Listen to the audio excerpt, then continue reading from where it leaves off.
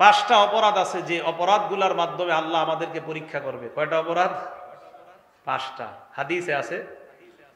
ইবনে মাজা কিতাবের নাম। হাদিস নাম্বার চার হাজার উনিশ নাম্বার হাদিস। কালা রসুল্লাহ সাল্লাহ আলহি ওয়াসাল্লাম। আল্লাহ নবী বলেন, খমসুন ইজাব তুলি তুম বিহিন্না ও আউজুবিল্লাহি আন্তুদ্রিকুহুন্না পাঁচটি অপরাধ এমন যেই পাঁচটি অপরাধের মাধ্যমে তোমাদেরকে পরীক্ষা করা হবে আল্লাহ নবী কয়, আমি আল্লাহর কাছে পানাহ চাই, তোমরা যেন এই পরীক্ষার মধ্যে না পড়ো। নবীজি পানা চাইছে, কিন্তু আমরা পড়ে গেছি। এক নাম্বার, লাম তাজহারিল ফাহিশাতু ফি কওমিন কত্তু হাত্তা ইউলিনু বিহা ইল্লা ফাশা ফীহিম আত-তাউন ওয়াল আওজাউ আল্লাতী লাম তাকুন মাদাত ফি আসলামিহিম আল্লাযীনা মাযাও এক নাম্বার লাম তাজহারিল ফাহিশাতু ফি কওমিন, কোন সম্প্রদায়ের মাঝে যখন অশ্লীলতা ছড়ায় পড়বে বেহাপনা অশ্লীলতা যখন কোন সম্প্রদায়ের মাঝে ছড়িয়ে পড়বে, হাত্তা ইউলিনু বিহা, অশ্লীলতার ব্যাপনা ছড়িয়ে যাওয়ার পর এই অশ্লীলতা আবার ঘোষণা করবে। খুব ভালো করে এই জায়গাটা শোনেন। অশ্লীলতা ছড়িয়ে পড়ার পর এটা আবার ঘোষণা করবে, ঘোষণা। কি করবে? এক তো অশ্লীল কাজ করবে, আবার ঘোষণা করবে। কয়েকদিন আগে আমাদের দেশে অশ্লীল কাজ হয়েছে। আবার ঘোষণা ব্যাপকভাবে, আবার প্রশংসিত হয়েছে। তো নবীজি বলেন, অশ্লীলতা যখন ছড়ায় পড়বে, হাত্তা ইয়লিনু বিহা আবার ঘোষণা করবে যে তিনি আমাদের সম্মানিত একজন মেহমান। এই মেহমানকে আমাদের সম্মান করা দরকার। হ্যাঁ? অশ্লীল কাজ যে করে, তাকে মেহমান বলা এবং তাকে সম্মান করার কথা বলা।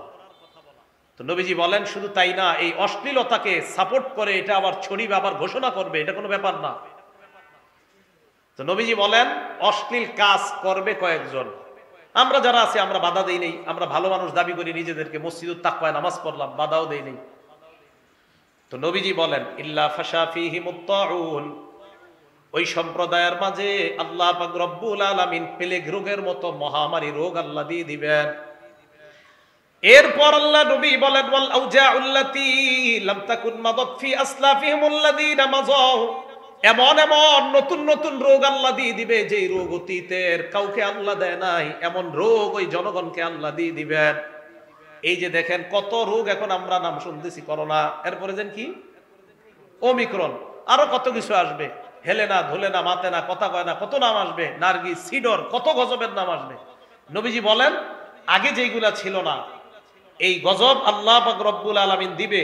এই জন্য মনে রাখবেন, করোনা ভাইরাস তো আল্লাহ উঠায় নিতে চায়।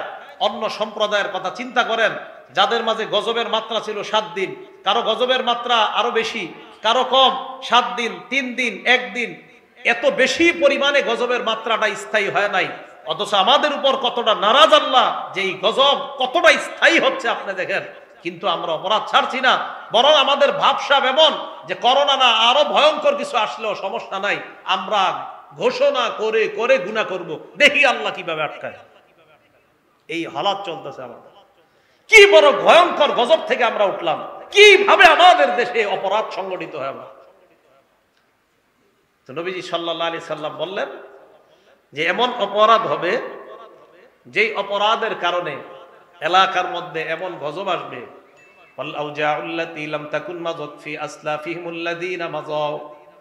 এমন অপরাধ হবে যে অপরাধের কারণে এমন গজব আল্লাহ দিয়ে দিবেন যে গজব অতীতের কাউকে আল্লাহ দেয় নাই। এক নাম্বার জানতে পারলাম, যেই সম্প্রদায়ের মাঝে গুণা ব্যাপকভাবে প্রকাশ্যে হয়ে যায়, ওই সম্প্রদায়ের মাঝে আল্লাহ এমন গজব দেয় যেই গজব আল্লাহ অতীতের কাউকে দেয় নাই।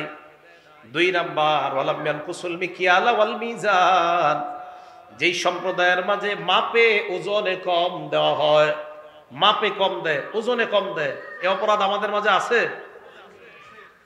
নবী বলেন যে সম্প্রদায়ের মাঝে মাপে কম দেওয়া হয়, ওজনে কম দেওয়া হয়। এই সম্প্রদায়কে আল্লাহ তিনটা গজব দিবেন। এক নাম্বার, ইল্লা ওখিজু বিসিনিন। আল্লাহ তাদেরকে দূর বৃক্ষের গজব দিবেন। না খাওয়া মারবে।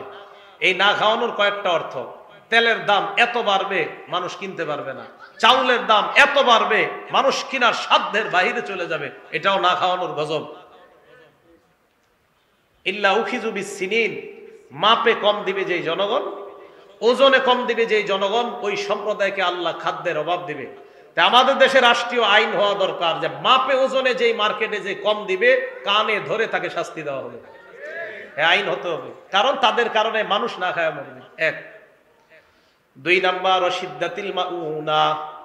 আল্লাহ তাদেরকে কঠিন আজাব দিবে, অন্যান্য আরও আজাব অর্থনৈতিক গজব। তিন নাম্বার সুলতানি আলাইহিম, মাপে যেই দেশের মধ্যে কম দেয়, ওই দেশের শাসক জনগণের উপর জুলুম করবে। এটা তিন নাম্বার গজব। এটা কয় নাম্বার? তিন নাম্বার। এক নাম্বার, মাপে যদি কম দেয়, এক নাম্বার গজব না খাওয়ায় আল্লাহ তাদেরকে মারবে।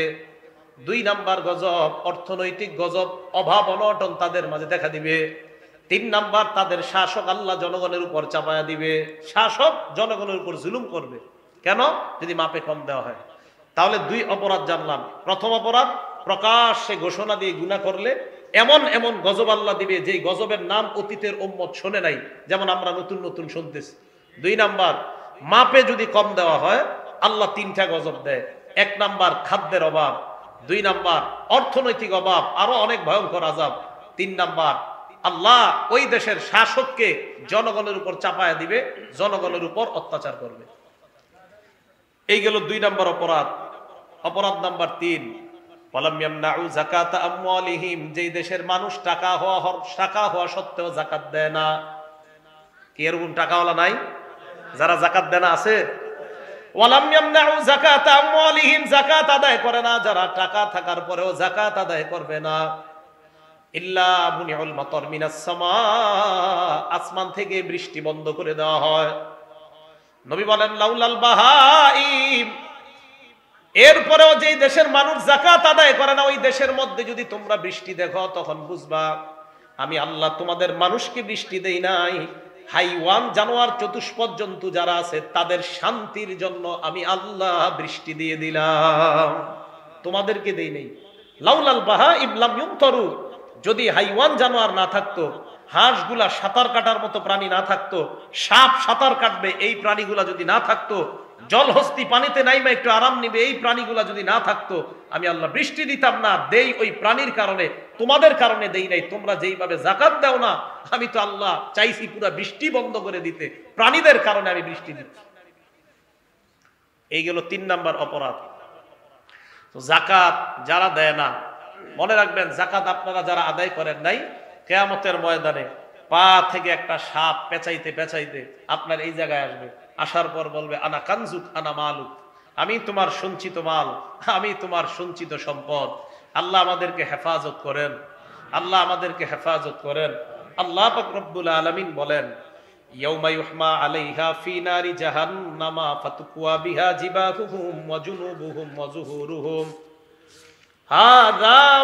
কানাসতুম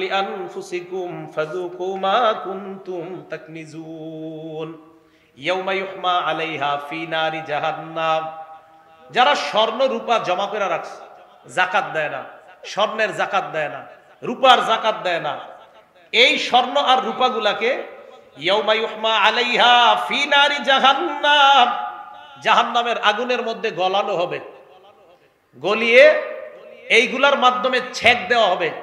ফাতুকুয়া বিহা, এ আজীব এক শব্দ আল্লাহ বলছে। ফাতুকুয়া বিহা জিবাহুহুম। সূরা তাওবা, আয়াত নাম্বার 35 দেখেন, তুকুয়া বিহা তুকুয়া কারে দেখেন? কাইয়ান মানে করা, লন্ডি করা। এই যে দোকানে দোকানদার লন্ডি করে না আমরা জামা কাপড় দেই না। এই জামা কাপড় যেটা দিয়ে ডলে, এটাকে মিকওয়া বলা হয় মিকওয়া লন্ড্রি আল্লাহ বলেন, ফাতুকুয়া বিহা, আজীব শব্দ। যে একটু দেখেন তো, আজকে আপনারা ট্রাই করবেন, লন্ডি দোকানে গিয়ে হাতটা রাখবেন, আর উনি ওনার স্ত্রীটা আপনার উপরে দিবে। হ্যাঁ? ফাতুকুয়া বিহা জিবা হুকুম তার কপালের মধ্যে ছেক দেওয়া হবে এভাবে। জাকাত যে দেয় না। জিবা হুকুম মজুনুবহুম তার পার্শ্বে অজুহুর হুম তার পিঠে। আল্লাহ তিন অঙ্গের কথা কেন বললেন? কপালের কথা কেন বললেন? পাশের কথা কেন বললেন? পিঠের কথা কেন বললেন? আজিব তিন শব্দ আল্লাহ বলছে। জাকাত জাতা যারা জাকাত দেয় না, এক নাম্বার তারা কপাল কুচকায় আমার টাকা দিব না। তাই কপাল। দুই নাম্বার জাকাত দাতার কাছে যখন জাকাত চাইবেন, এ আপনারে প্রথমে তো কপাল কুচকাবে এরপর আবার যদি বলেন, স্যার, এটা তো দেওয়া উচিত, দেওয়া দরকার, এটা তো না দিলে ঠিক না, তখন আপনার আস্তে দিলে এই পার্শ্ব দেখাবে। আরে, যাও তো। এই জন্য আল্লাহ দুই নম্বরে বলছে পার্শ্ব।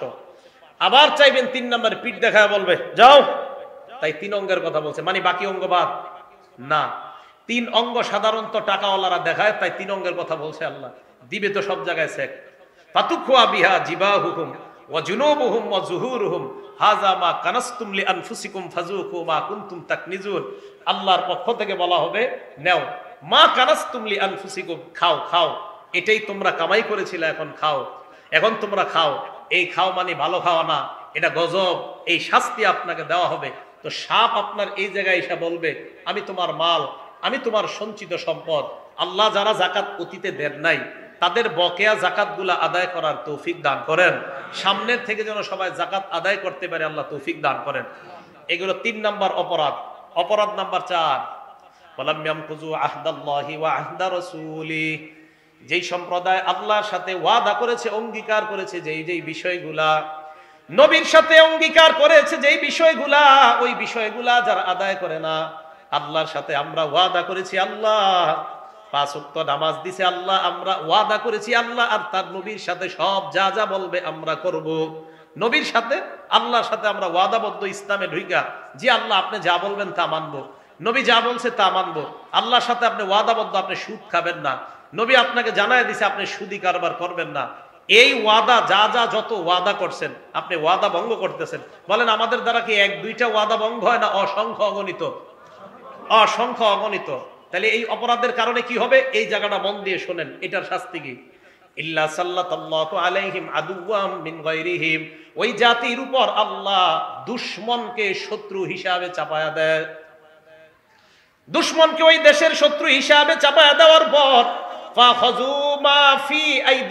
তোমাদের হাতের সম্পদগুলা ওই দুশমন নিয়ে নিবে।